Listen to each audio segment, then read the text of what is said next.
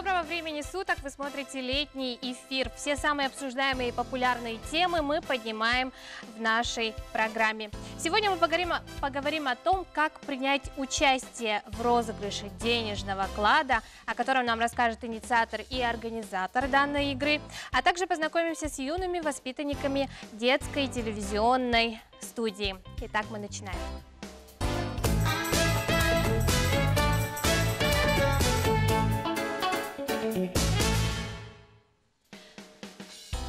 Наша героиня Аина всегда мечтала найти бутылочку а, с деньгами, которую ведущие программы «Орел и Решка» прячут в разных странах. Такую возможность Аина решила подарить сама всем жителям нашего города. Сегодня Аина в нашей студии.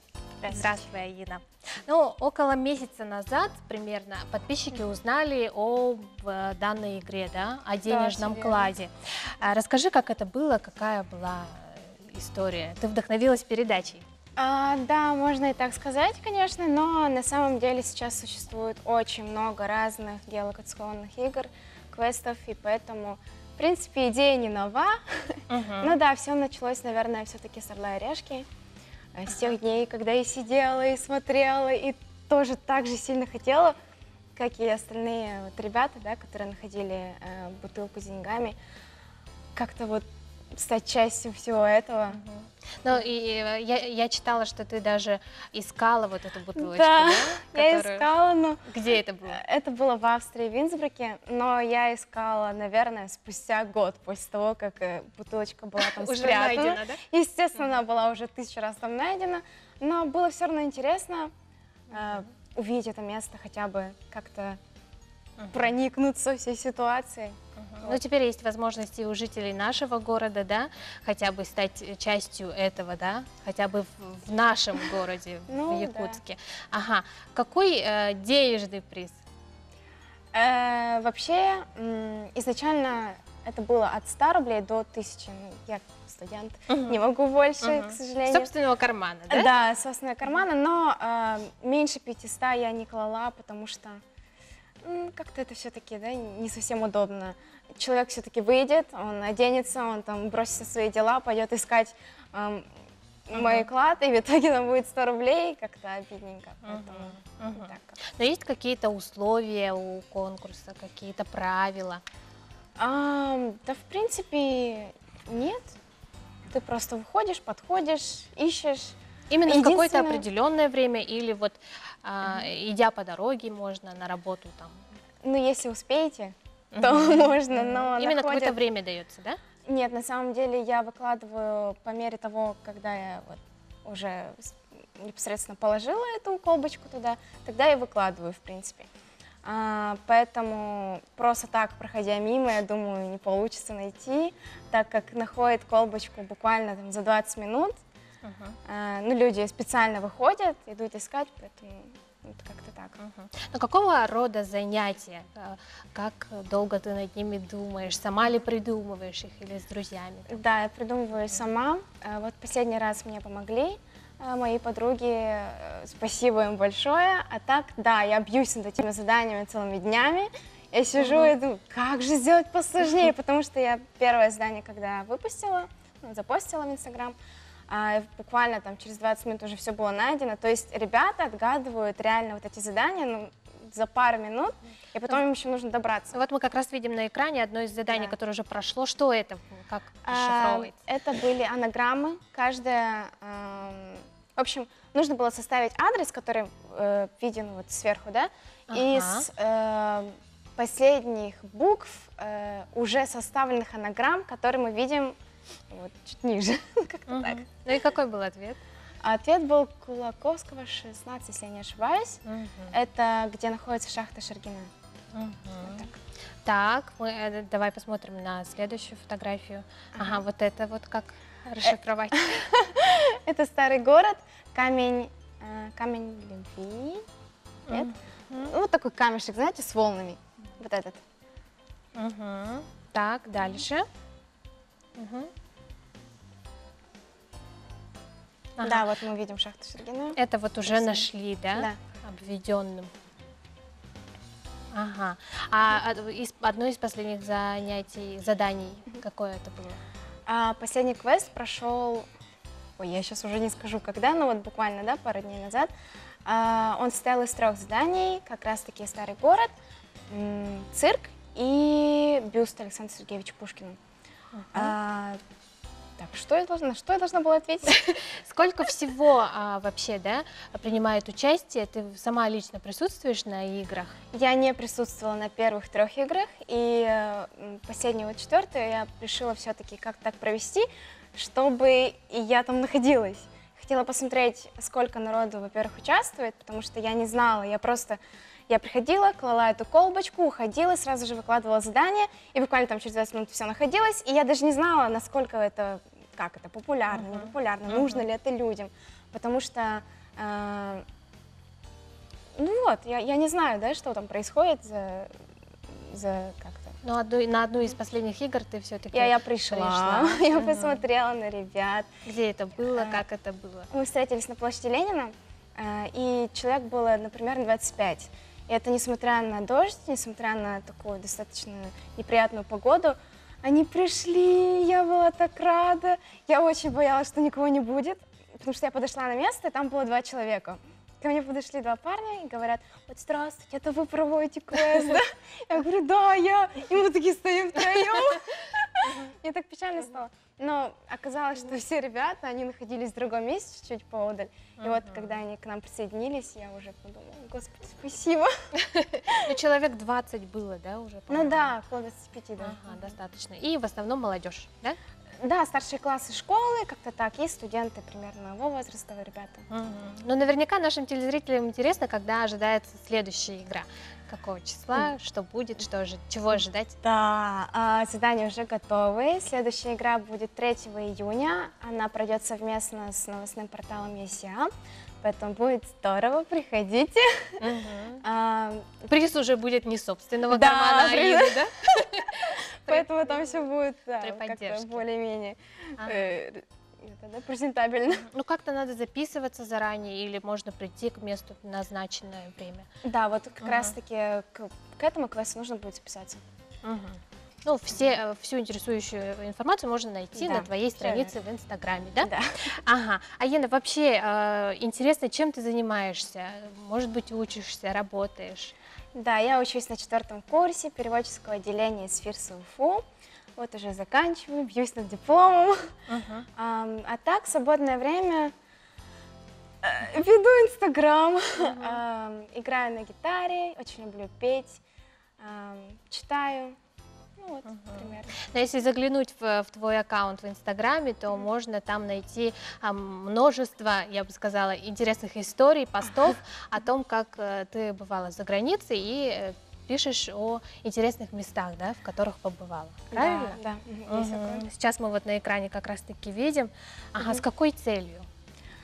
А с чего вообще все началось, да? Ам, ребята задавали мне очень много вопросов по поводу того, там, как, э, как найти программу, через которую я ездила, как вообще все это проходит, как получить визу и так далее. Подобных вопросов было очень много, и в какой-то момент мне просто надоело отвечать на них каждый раз.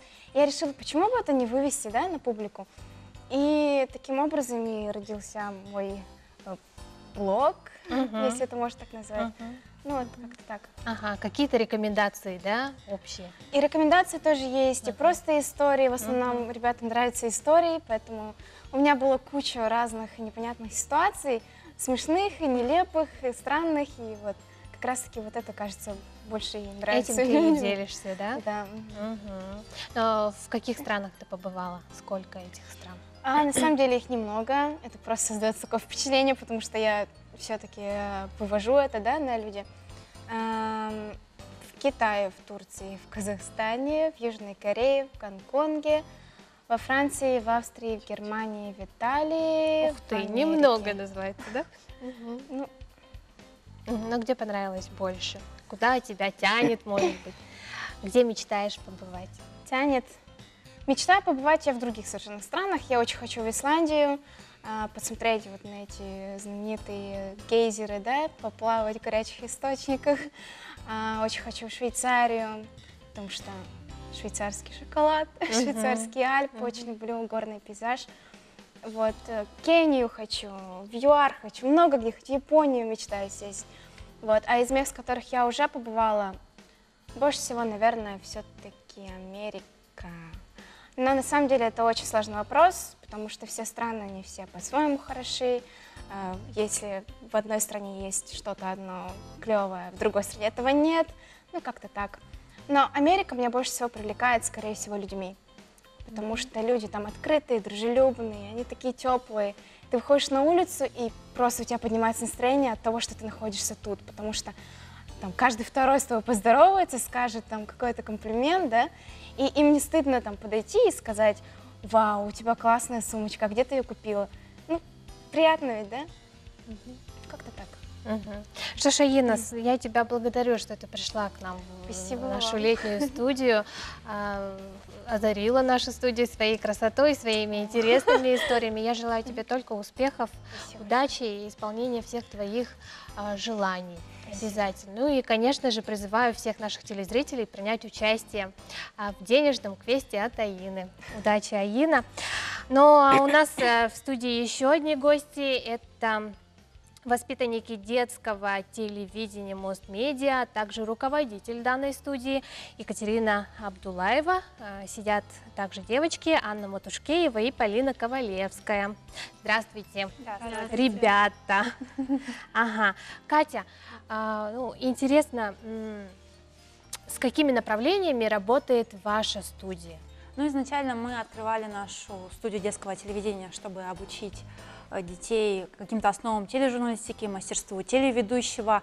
Но мы уже работаем третий год, мы развиваемся и вводим новые направления. Так у нас появились направления по основам фотографии, по основу стиля. И конкретно мы работаем с детьми по развитию именно снятия психологических, речевых зашимов в театральной студии «Кислород». Мгм.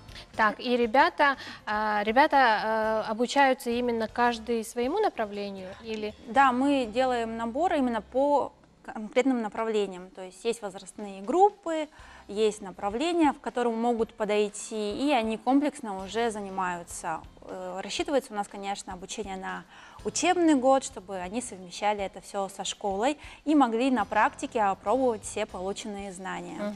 Все самое интересное впереди. А, Екатерина, мы продолжим сразу после небольшой рекламной паузы. Оставайтесь с нами.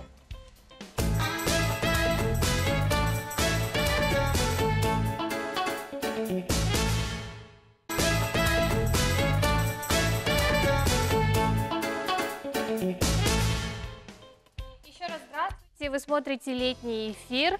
А, в- в- До рекламы мы начали разговор о детской телевизионной студии.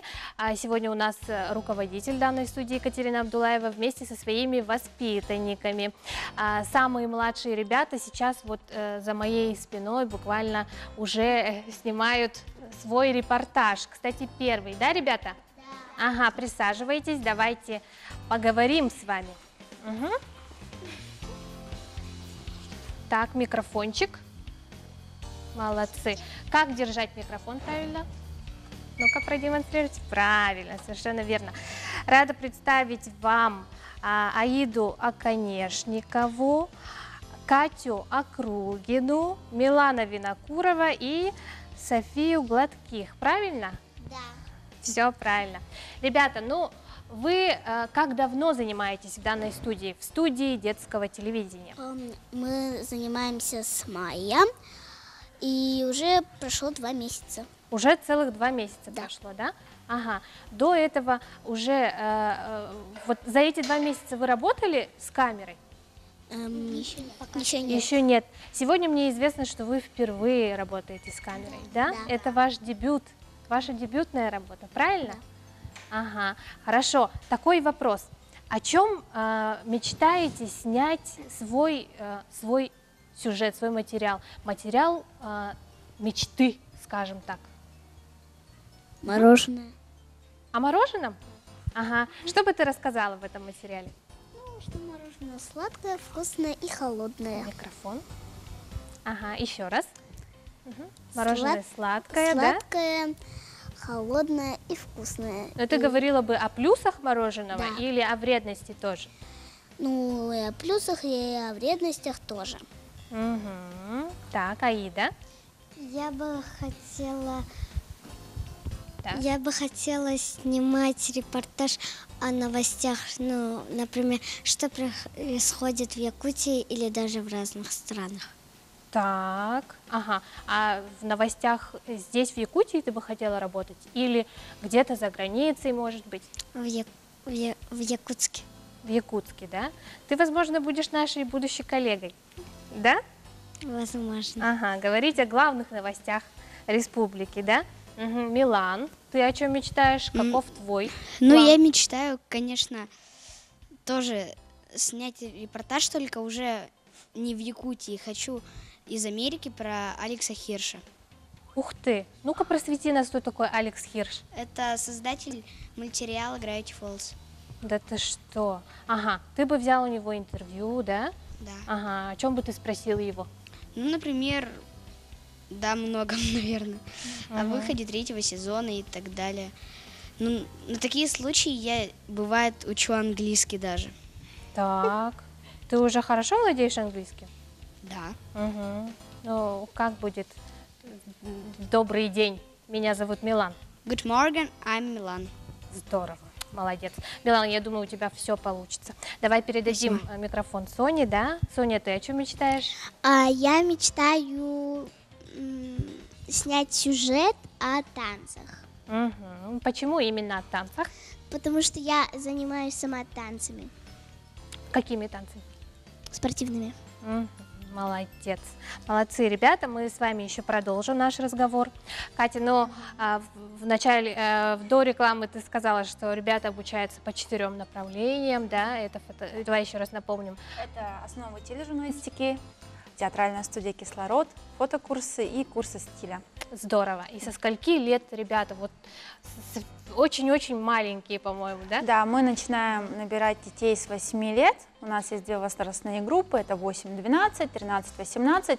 И для каждого из этих групп есть э, своя основа. То есть для малышей мы даем краткий курс. Самое главное, что необходимо им знать для съемок, это как работать перед камерой, как брать интервью, как держать микрофон.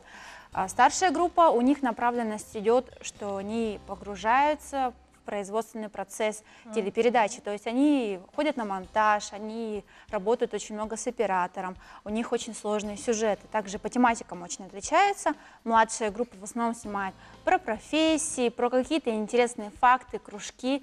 Старшая группа, они берут темы уже социального характера, например, проблема отцов и детей, травля в школе, там, либо алкоголизм и э, вредные привычки.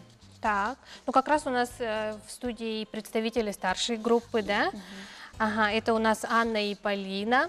Ребята, вот э, недавно, да, по-моему, на Всероссийском фестивале детской телевизионной журналистики, да, вы принимали участие и заняли первое место, выиграли со своим сюжетом, со своим материалом, собственноручно сделанным, можно сказать, да, а, «Царство вечной мерзлоты». Все верно? Да. Ага, а, давайте я предлагаю м, телезрителям ознакомиться, посмотрим.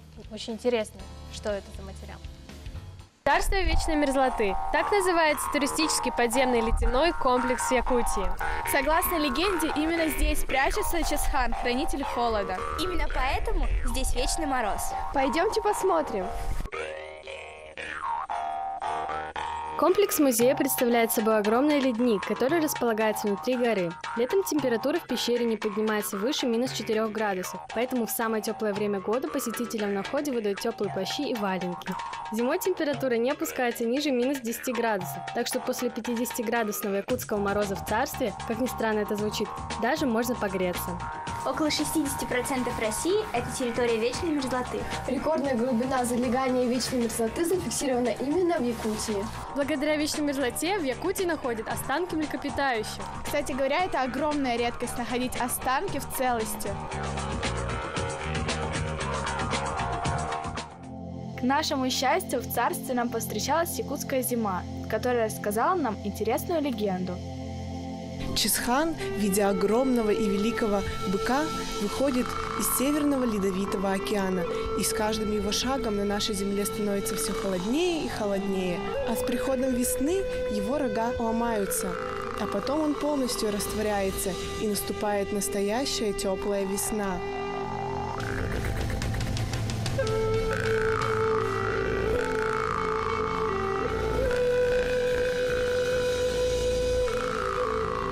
Мои обязанности как хранителя холода входит поддержка зимы зимнее время года, чтобы зима у нас была суровой, но не продолжительной, короткой. Только здесь, в царстве вечной мерзлоты, вы можете круглый год покататься на ледяных горках.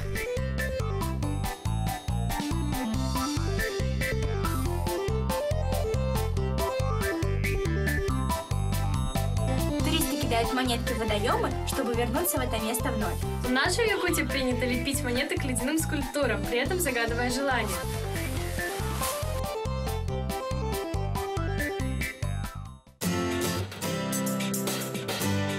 От работников музея мы узнали, что в царстве 16 залов и более 60 экспонатов, которые пополняются каждый год. Приезжали те, кто даже снега сроду не видел. С Таиланда, с Шри-Ланка, с Индии. Вот сюда за- заходили вообще, это, восхищались. Особенно восхищаются нашим потолком. Все спрашивают, как это вы сделали. А вы знали, что эти кристаллы образуются от нашего с вами дыхания? А еще они абсолютно уникальны. Вы не найдете ни одного одинакового. Царство вечной мерзлоты вот наше является достоянием нашей республики и самым посещаемым местом. А ведь это действительно уникальное место. Именно здесь вы сможете ощутить настоящую зимнюю сказку.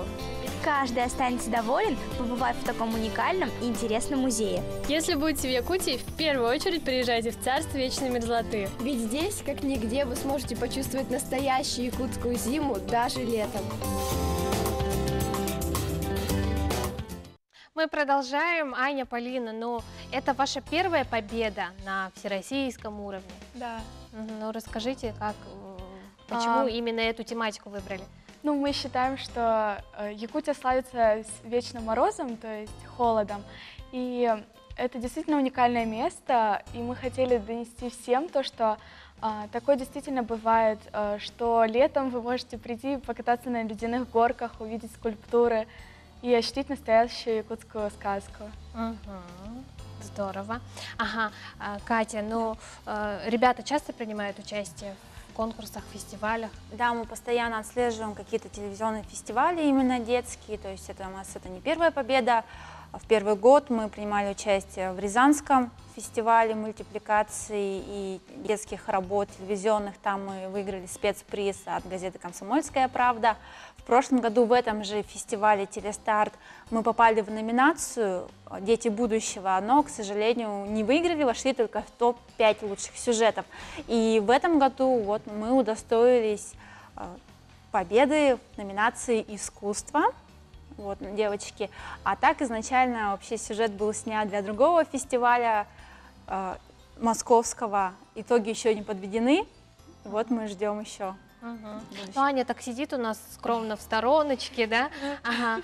Э, Известно, что ты достаточно давно занимаешься в этой студии, правда? Да, мы занимаемся с самого начала, с самого первого набора. То есть это уже третий год. И за все это время мы сняли ну, очень много сюжетов. Ну, лично мой любимый это, наверное, спортивный сюжет про вид спорта воркаут. И еще мне нравится наш репортаж, который мы снимали ко дню варенья в Чучур-Муране. Так. Ага, но ты уже у нас практически готовый журналист. Да. да задумываешься о будущей профессии? Да, конечно, задумываюсь. Ну, да, скорее всего, свяжу свою жизнь с этой профессией тележурналистикой. Журналистикой, да. Ага, ну что ж, спасибо, уважаемые гости. Благодарю, что пришли в нашу летнюю студию. Мы обязательно ждем вас в гости еще. Ну а с вами, дорогие телезрители, мы прощаемся. Смотрите летний эфир э, каждый день по будням в 12 30 на нашем канале. С вами была Катерина Винокурова. По вопросам сотрудничества э, всегда можете обратиться по контактам, которые видите на своих экранах. Всего доброго!